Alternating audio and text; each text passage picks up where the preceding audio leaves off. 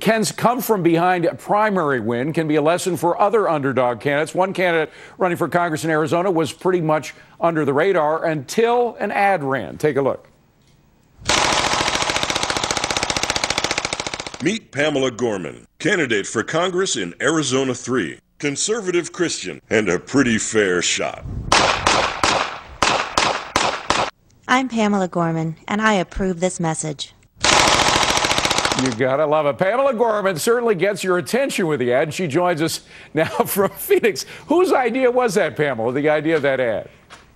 You know, that ad actually came about because I had some volunteers that said, listen, Pamela, you've got 10 people in this race. You're better than all of the other nine, as we call them, the pack.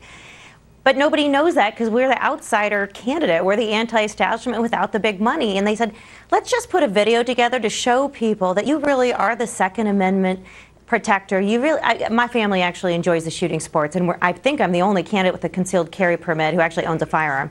So they said, hey, let's put this together and let's show people. And honestly, I never imagined in a million years that it would be played around the world. I actually got interviewed by a film crew from Spain this morning about this particular video. I, I know I've seen folks fire a pistol up, but what, what is that machine gun you have? It looks like an old Tommy gun.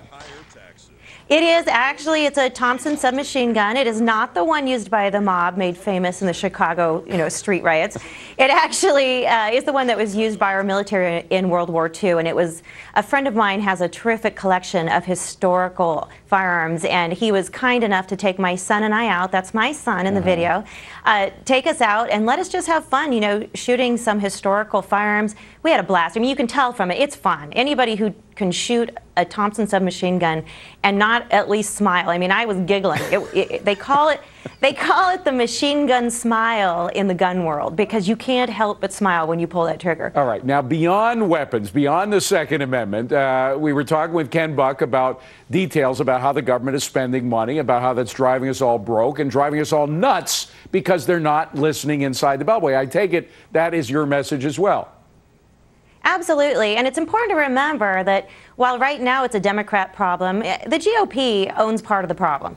You know, they had control for many years and they were spending like drunken sailors as well. And I think it's important to know that right now this country wants to send the right people there. We want to fight to take back this country from the stronghold that it's under right now that's slippery it's on a slippery slope towards socialism. And we don't want to see that. And I think the voters are crying out for not just Republicans but for actual conservatives. And I certainly fit that bill. I've got a record that shows it. You can look at independent groups that have looked at my record. You don't have to take my word for it.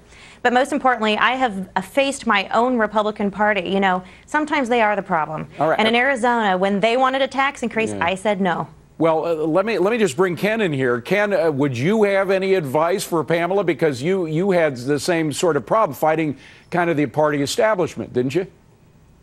I, I did, and let me just say one thing to Pamela. Uh, my wife also has a concealed carry permit, so uh, we could be related, Pamela. Uh, but yeah, That's yeah, great. I think that uh, the, my, my advice to you would be go, girl, go. Uh, you know, we need to make ah, sure that we you. keep fighting the Republican Party. That's, that's the key is we're going to move the Republican Party. We're not going to move towards it. And, and people, right. correct me if I'm wrong, Ken, but I, I, I, get the sense from your campaign, people said you made gaffes because you spoke off the cuff so much and everything, but it didn't, the voters didn't care. They want somebody who's able to speak off the cuff, who, who doesn't rely on teleprompters to speak. I think they're looking for somebody that's authentic, and I also think they're looking for someone that's going to act the same way in D.C. that they're acting here, and they don't get that from a canned candidate. Pamela, I got to ask, that, do you, yeah. you do well on the stump, just reading off their, just uh, saying things off the cuff? You know what?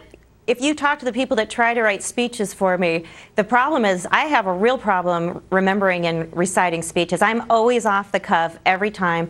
I like to know my issues, and that way I don't have to memorize lines. And you know, the thing is, I've got experience. I've worked on the issues. I don't have to memorize talking points like all of my opponents.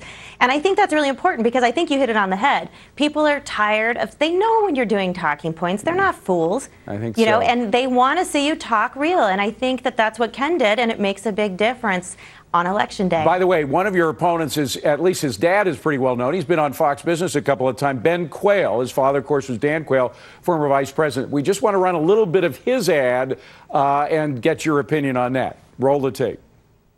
Barack Obama is the worst president in history. and my generation will inherit a weakened country. Drug cartels in Mexico, tax cartels in D.C. Okay, well, Pamela, you, you get the idea. I mean, is, uh, your message, that's a pretty tough message. How can you out tough Ben Quayle's message? Oh my gosh, I, I don't know if I could stay awake for that whole commercial. I'm glad you only paid a small portion of it. Ooh. But you know, we have a problem when you can, we call Ben Quayle here Hillary Light.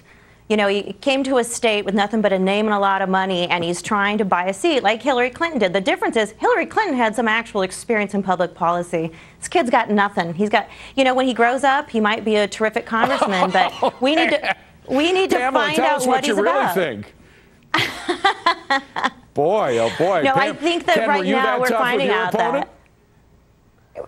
Uh, no, we we had we had some differences, but uh, I think now it, it's it's better and we're moving forward. I, I, think that's the key is to make sure you don't go after your opponent so bad that you can't get the support when you win. Well, Pamela, just leave the guns at home when you go to debate uh, Quayle. All right, promise me you'll do oh, that. every time. Okay. I've got nothing against the young man. Pamela Gorman, Ken Buck again. Ken, congratulations, terrific stuff. We thank you for coming here again. Thank you. Appreciate it. Thank well, you very much. Thank you, Pamela.